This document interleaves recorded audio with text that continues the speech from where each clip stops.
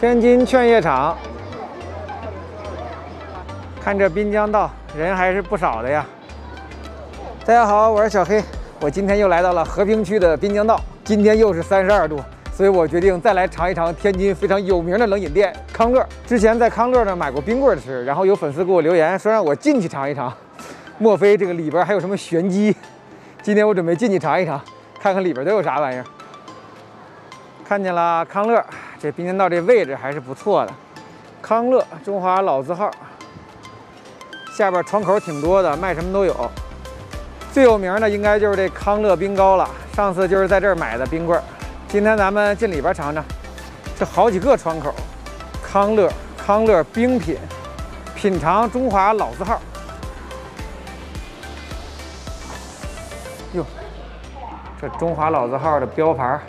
你好，主要是卖什么呀？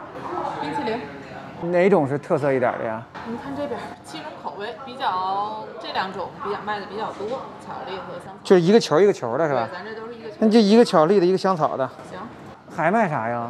沙冰奶昔类的，草莓奶昔，咱最特色的就是那红豆冰棍都是外面买。对。那咱里边就是卖这些，就是冰激凌和这个玩意儿。哦，那我就来这个吧。行，三十八一个，哎，在这儿吃吗？在这儿吃。你找地儿坐吧，一会儿我喊您。好嘞。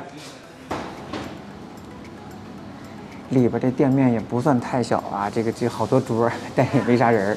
我发现大部分人都是从外边买了那个冰棍儿，尤其是那个小豆冰糕，然后就走了。里边就不卖什么冰棍儿啊、驴打滚儿什么的了，就是冰淇淋，然后还有热饮，然后还有奶昔。这奶昔我可是有真的没喝着了。我记得就以前麦当劳有，我还挺爱喝这个的。这冰淇淋是九块钱一个球，我们要了两个，这是最传统的香草和巧克力的，上面还撒了点这个巧克力酱吧，应该是。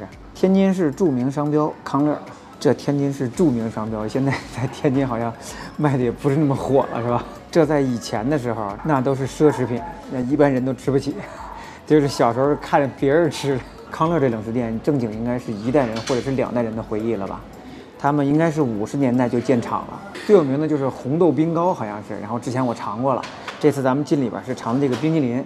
他们主要是做冷食的，我觉得冰淇淋应该也很好吃，而且还不贵，九块钱一个。在滨江道这个地儿，这要是改成哈根达斯，那我这就是奢侈了。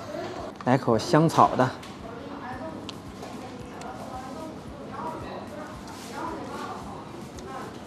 好吃哎，真的好吃。它的奶味虽然不是特别的重啊，但是特别的绵软，就真的是那个小时候那个味道。虽然我不是天津人啊，小时候没吃过康乐，但是小时候咱也吃过冰淇淋，是不是？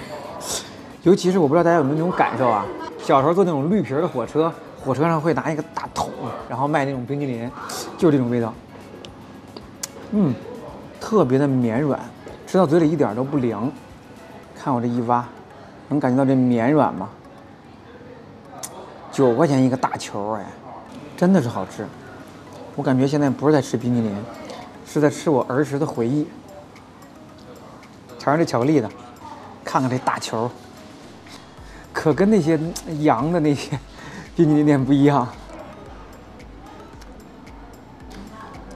嗯，巧克力的也好吃，但是巧克力的稍微有点甜，香草那个好吃，香草那也不甜也不凉。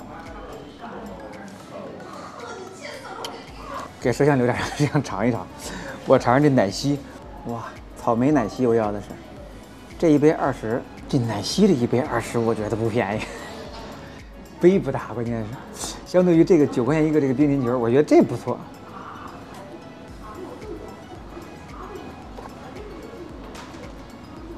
这个有点凉了，但是奶昔喝起来特别过瘾，真的是好长好长时间没喝过奶昔了。草莓味儿比较浓，然后那种奶味儿、冰淇淋味儿，你喝不着那种冰渣的感觉，也是特别绵软。你尝尝这个，真的是小时候那个味儿，就是小时候那个冰糕，还有那个嗯就就雪雪糕那种味儿，还不太甜，不太这个更不甜。你尝尝这个，这个凉。嗯。